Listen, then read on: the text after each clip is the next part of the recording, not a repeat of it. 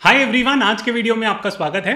आपने कई बार देखा होगा कि जब आप म्यूचुअल फंड में निवेश करने जाते हो तो आपसे नाना प्रकार के कमीशन ले लिए जाते हैं। फॉर एग्जांपल आपसे म्यूचुअल फंड एजेंट भी कमीशन लेगा, आपसे म्यूचुअल फंड हाउस भी कमीशन लेगा एंड उसकी टीम भी मैनेज होती है तो उसके लिए भी कमीशन आपसे चार्ज कर लिया जाता है।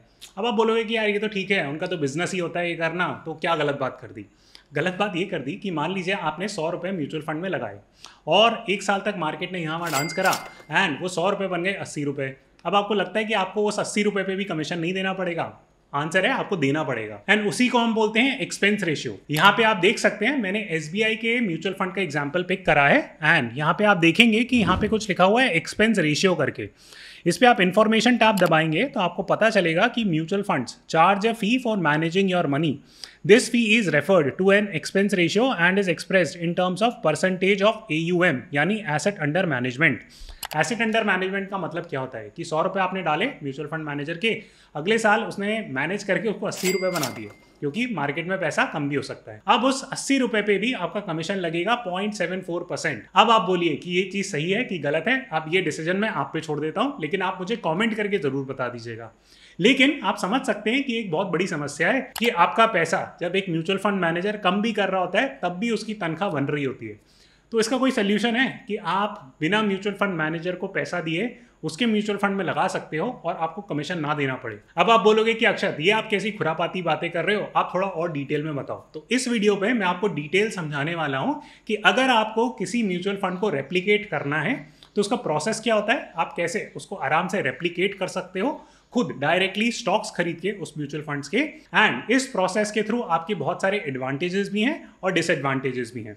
तो मैं आपको पूरी प्रोसेस और समरी समझा दूँगा। एंड मैं आपको दो लाख रुपए का लाइव निवेश भी करके दिखाऊँगा। एक इंपॉर्टेंट डिस्क्लेमर दे दूँ कि ये थोड़ा मेहनत का काम है। एंड लोगों को मेहनत करना बहुत ज़्यादा पसंद नहीं है तो कृपया डिसलाइक मत करिएगा।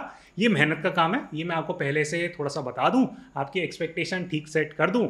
अब अगर आप रेडी हैं तो मैं आपको प्रोसेस भी समझाना शुरू कर देता हूँ। तो मान लीजिए कि आपको एसबीआई का स्मॉल कैप म्यूचुअल फंड बहुत पसंद आया। अब आप बोलोगे कि यार, मेरे को तो एसबीआई पसंद नहीं है, मुझे नहीं करना इनके म्यूचुअल फंड में तो आप जाके मेरा दूसरा वीडियो देख लीजिए। मैंने इस वीडियो को बनाया था। आप अपनी पसंद से, मन मुताबिक, जो भी आपको म्यूचुअल फंड आपके कैटेगराइजेशन पे फिट बैठे, वो आप जाके पिक कर सकते हो। मैंने पूरा प्रोसेस इस वीडियो पे समझाया तो कृपया करके वो वीडियो ज़रूर देख लीजिएगा। अब मान लीजिए कि आपको SBI small cap mutual fund पसंद आया। आप इस म्यूचुअल फंड में निवेश तो करना चाहते हो, लेकिन आप अपना कमीशन भी बचाना चाहते हो। कौन कौन से कमीशन बचाना चाहते हो? एक तो ये कि एक्सपेंस रेशियो आप अपना बचाना चाहते हो। एक्सपेंस रेशियो का मतलब मैं आपको समझा चुका हूँ। और दूसरी चीज़ की एग्जिट लोड आप अपना बचाना चाहते हो। अब एग्जिट लोड क्या होता है? आपने मान लीजिए इस फंड को यहाँ पे जाके खरीदा, जब इसकी एनएवी चल रही थी एक रुपीज़ आपने इस म्यूचुअल फंड को एक के एनएवी पे अगस्त 22 को खरीदा। अब मार्केट में रैली आ गई। अब इसका एनएवी भी बढ़ जाएगा, क्योंकि सारे अगर अंडरलाइन स्टॉक्स बढ़ रहे हैं तो म्यूचुअल फंड भी बढ़ जाएगा। तो हाइपोथेटिकल एक एग्ज़ाम्पल पकड़ते हैं कि ये एनएवी हो गया दो सौ रुपये अब आपका मन करा कि यार मैं तो बेच देना चाहता हूँ। मेरे बहुत पैसे बन गए, अब मैं जाऊँगा मॉलडीव या थाईलैंड अब आप बेचने जाओगे उस म्यूचुअल फंड को तो आप पे लगेगा वन परसेंट एग्जिट लोड बाकी के टैक्स जो लगते हैं वो तो लगेंगे ही, वो सरकार छोड़ने वाली नहीं है, लेकिन आपका एक एग्जिट लोड म्यूचुअल फंड ही लगा देगा आप पे। और एक परसेंट बहुत पैसा होता है। तो आपके पास ये एक एडिशनल सिरदर्द और हो गया एक परसेंट कमीशन और देने का। तो आप क्या सोचोगे कि यार अब कौन बेचे? छोड़ो, अपनी थाईलैंड की ट्रिप पोस्टपोन कर देते हैं, कभी और जाएँगे। अभी हो जान दो एक आध साल, उसके बाद ये एग्जिट लोड खत्म हो जाएगा, तब बेचूँगा। अब तब तक मान लीजिए मार्केट गिर गया, फिर आपको हमेशा मलाल रहेगा कि मुझे तो बेच के निकल जाना चाहिए था। तो ये सारी परेशानियाँ होती हैं एक म्यूचुअल फंड में निवेश करने पे। पहली परेशानी ये कि आप मार्केट को टाइम नहीं कर सकते। कि आपको लगा कि मार्केट ओवर वैल्यूड है, अगर आप निकलना चाहोगे इस म्यूचुअल फंड से तो आप निकल नहीं सकते। आपको एग्जैक्ट लोड देना पड़ेगा उसको निकलने के लिए। दूसरा, आप पे एक्सपेंस रेशियो तो लगेगा ही लगेगा। तीसरी चीज़ होती है एसेट प्रॉब्लम एसेट प्रॉब्लम का मतलब होता है, अगर आप इसके पोर्टफोलियो पे जाके देखेंगे तो आप देखेंगे कि बहुत सारी कंपनियों के नाम है। आपको लगता है कि यार कंस्ट्रक्शन में दम नहीं है, मुझे नहीं करना कंस्ट्रक्शन में इन्वेस्ट लेकिन मुझे ऐसा कोई म्यूचुअल फंड मिल ही नहीं रहा है, जो स्मॉल कैप हो, जिसने पीछे अच्छे रिटर्न दिए हो, और वो कंस्ट्रक्शन में इन्वेस्ट ना करता हो। तो आपके पास क्या होगी प्रॉब्लम कि आपको ज़बरदस्ती इस म्यूचुअल फंड में पैसा लगाना पड़ेगा और कंस्ट्रक्शन के स्टॉक्स में भी एक्सपोजर लेना पड़ेगा। तो इन समस्याओं से कैसे निजात पाया जाए? तो उसका स्टेप वन है कि आप जाओ, यहाँ पे स्क्रोल करो, यहाँ पे कंपनियाँ देखो और इन सब कंपनीज़ को इसी एलोकेशन के हिसाब से आप कॉपी पेस्ट कर लो। तो ये अगर आप जाओगे, नीचे कॉपी पेस्ट दबाओगे तो कॉपी पेस्ट हो जाएगा। मैंने पहले से कर रखा है, मैं यहाँ पे शीट आपके साथ शेयर कर देता हूँ। तो ये रहा स्टेप वन और मैंने यहाँ पे सारे एसेट्स कॉपी कर लिए तो आप नीचे तक स्क्रोल करके देख सकते हो। तो ये हो गया स्टेप वन कंप्लीट तो यहाँ पे आपको थोड़े से एडजस्टमेंट्स करने हैं। एडजस्टमेंट्स क्या करने हैं? पहला स्टेप कि आप यहाँ पे अपना इन्वेस्टेबल अमाउंट लिख लो। जैसे मैंने यहाँ पे टारगेट डाल लिया है दो लाख रुपए का कि मैं अभी इसमें दो लाख रुपए लगाना चाहता हूँ। मेरा टोटल टारगेट दस लाख रुपए यहाँ पे अमाउंट मैटर नहीं करता, ये दस हज़ार रुपए भी हो सकता है। मैं आपको सिर्फ़ एग्ज़ाम्पल के तौर पर दो लाख का एग्ज़ाम्पल दे रहा हूँ। मान लीजिए मेरे को दस लाख रुपए लगाने हैं तो मैं आज कितने इन्वेस्ट करना चाहता हूँ? दो लाख। क्योंकि मैं पाँच इंस्टॉलमेंट में ये पैसा डालूँगा। तो मैंने यहाँ पे लिख लिया दो लाख। फिर इसके एलोकेशन के हिसाब से मैंने यहाँ पे फॉर्मूला डाल के, ये मैं शीट आपके साथ शेयर भी कर दूँगा। तो यहाँ पे मैंने फॉर्मूला बना दिया है तो जिसके हिसाब से आपके पास टोटल पैसा आ जाएगा कि आपको कितना किस एसेट में लगाना है। For example T R E P S करके एसेट इसको सिक्योरिटीज बोला जाता है। ये एक सिक्योरिटी है, जिसमें इंटर लेंडिंग होती है म्यूचुअल फंड और बैंक की तरफ़ से। इसका एलोकेशन आ गया। अगर आपको दो लाख रुपए इन्वेस्ट करने हैं तो करीब करीब उनतीस हज़ार तीन सौ बीस रुपए। अब मान लीजिए आपको वी गार्ड करके स्टॉक में इन्वेस्ट करना है तो इसमें आपको कितने करने हैं? छह हज़ार रुपए आज इन्वेस्ट करने हैं। अगर आपका इन्वेस्टमेंट टारगेट है, दो लाख रुपए। तो मैं उम्मीद करता हूँ कि आपको अभी तक ये प्रोसेस समझ आ गया होगा। अब चलते हैं स्टेप टू की तरफ़। तो स्टेप टू में क्या करना है? हमें अपने एसेट्स रिफाइन करने हैं।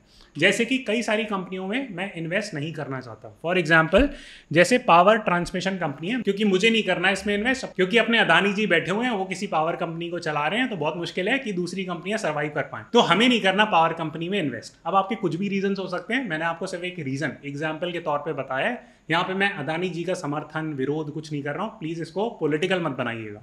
तो मैंने इस पर रेड मार्क लगा दिया एंड ये मैं इन्वेस्ट नहीं करने वाला। Similarly T R E P S ऐसी चीज़ नहीं है जिसको आप स्टॉक मार्केट से खरीद पाओ। तो इस एसेट को आपको ऑटोमेटिकली हटाना पड़ेगा। तो मैंने इस तरीके से लाल निशान लगा दिए हैं जिन कंपनियों में मुझे निवेश नहीं करना है और जिनमें मैं कर नहीं सकता। For example margin amount for derivative position इसमें आपको कुछ लेना देना नहीं है। अब आते हैं स्टेप थ्री की तरफ़। स्टेप थ्री आपको करना पड़ेगा जीरोदा या आप जो भी ब्रोकरेज अकाउंट यूज़ करते हो, उसके प्लेटफॉर्म पे जाके। तो मैं आपको बता देता हूँ कि आपको नेक्स्ट स्टेप क्या करना है। तो यहाँ पे आप जाओ और मैंने यहाँ पे वॉच लिस्ट बना दी है। तो ये वॉच लिस्ट सिक्स और सेवन ये पूरा का पूरा मैंने रेप्लीकेट कर दिया है। कहाँ तक करा है रेप्लीकेट मैंने ये करा है जहाँ तक कि मेरे पास डेटा अवेलेबल था।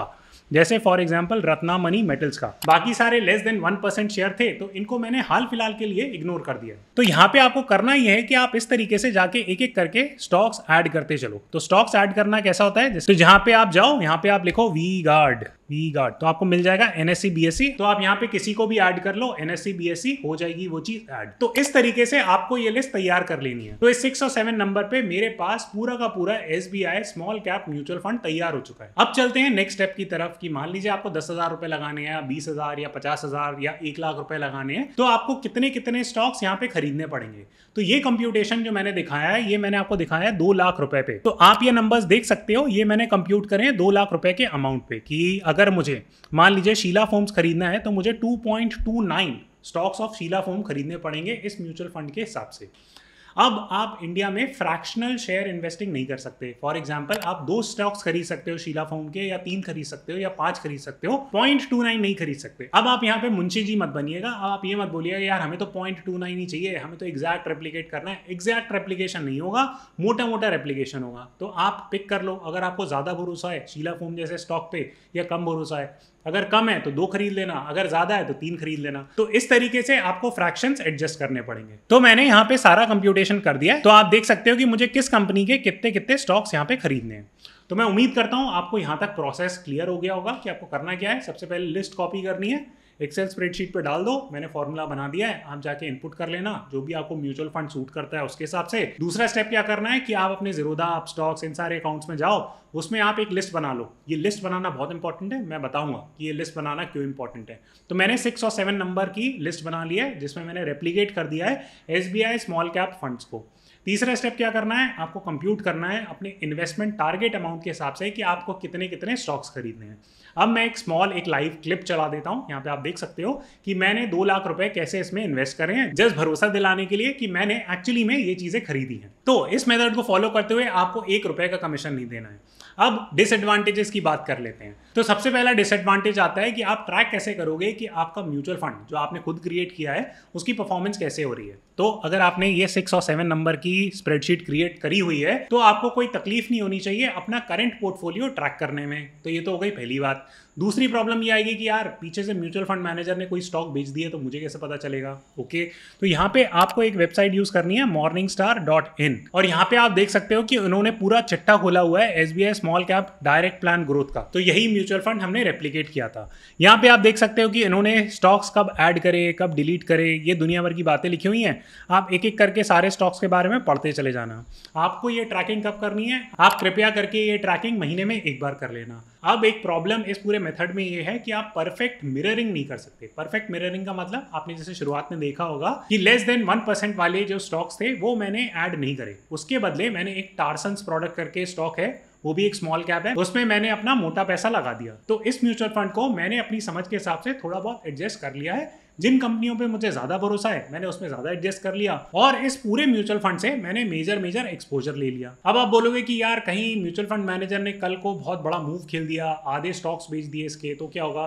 देखिए जनरली म्यूचुअल फंड्स में ऐसा होता नहीं है कि बहुत वायलेंट मूव्स करते हैं। जैसे फॉर एग्ज़ाम्पल आप देख सकते हो कि आप SBI म्यूचुअल फंड की एड डेट देख लो। फ़र्स्ट बॉट सितंबर 30 2019 2019 2017 कुछ कुछ स्टॉक्स इनने इतने पुराने पुराने खरीद रखे हैं, उनके साथ कुछ नहीं किया। ना बेचा, ना कुछ किया। तो इतने वायलेंट मूव्स होते नहीं है म्यूचुअल फंड में, इसलिए ये मेथड बहुत अच्छा है, इससे आपके बहुत सारे पैसे बच सकते हैं। अगर आपको ये टिप या स्ट्रैटेजी अच्छी लगी हो तो अपने फैमिली ग्रुप में तो शेयर कर ही दीजिएगा, दोस्तों को बता दीजिएगा। आपको भी दुआएँ लगेंगी, उनके भी कुछ पैसे बच जाएँगे, मेरे भी कुछ सब्सक्राइबर्स बढ़ जाएँगे। मैं उम्मीद करता हूँ कि आपको ये मेथड अच्छा लगा होगा। मैं आपसे जल्द अगले वीडियो पे मिलता हूँ।